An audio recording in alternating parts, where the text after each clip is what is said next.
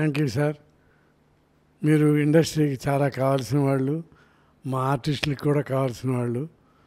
మీరు తక్కువ మాట్లాడతారు ఎక్కువ పని చేస్తారు తెలుసు అందరికీ. నిజంగా మీ దృష్టికి మా వాళ్ళు తీసుకురావడం కూడా కరెక్ట్. ఎందుకంటే అది మీ వల్లే క- అవుతుందని వాళ్ళ ఉద్దేశం. మేము కూడా అందుకే వచ్చాము. యాక్చువల్గా మీరు అన్నట్టు నాలుగు వేల మందికి సరిపడే స్థలాన్ని ఇప్పుడు నలభై వేల మంది సర్దటం అంటే చాలా కష్టమైంది. అందుకు ఈ ప్రాబ్లమ్స్ అన్నీ వచ్చినాయి. ఇవన్నీ ఒక్కొక్కటిగా మేము సాల్వ్ చేసుకుంటూ వస్తున్నాం. ఇంకా సాల్వ్ చేసే ప్రయత్నంలో ఉన్నాం. ఇంకా మీలాంటి వాళ్ళు ప్రభుత్వాన్ని అర్థించి ఇప్పుడు ఆంధ్రప్రదేశ్ ప్రభుత్వం అయినా తెలంగాణ ప్రభుత్వం అయినా ఎక్కడైనా సినిమా ఇండస్ట్రీ నిలబడేది మాత్రం ఖచ్చితంగా హైదరాబాదే. ఇది అందరికీ తెలిసిన సత్యం. ఇది మద్రాసులో ఉన్నప్పుడే అనువైన ప్రదేశం అని అక్కడి నుంచి ఇక్కడికి వచ్చాం. కనుక చాలామంది కావాల్సి వస్తుంది కనుక మళ్ళీ ప్రభుత్వాన్ని అర్థించి ఆ పక్కనే తొమ్మిదిన్నర ఎకరాలు ఉంది.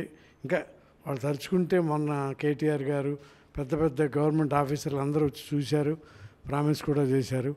మీరు కూడా రిక్వెస్ట్ మా తరఫున చేస్తే ఆ అది కూడా ఇస్తారు. అలాగే మాకు త్రీ అండ్ హాఫ్ ఏకర్స్ ఆ చెరువు పక్కన ఉంది. అది ప్రభుత్వ పర్మిషన్ ఇస్తే దాంట్లో రెండు టవర్స్ కట్టి అందులో ముందు పర్మిషన్ ఆల్రెడీ తీసుకున్నాము. రేపు జనరల్ అనుకుని ఎంతమంది పేదవాళ్ళకి ఎక్కువ మందికి దాంట్లో సౌకర్యం కల్పించవచ్చు చేసి మా కమిటీ దానికోసం నిలబడుతుందని మీ ప్రజెన్స్లో ప్రామిస్ చేస్తున్నాను.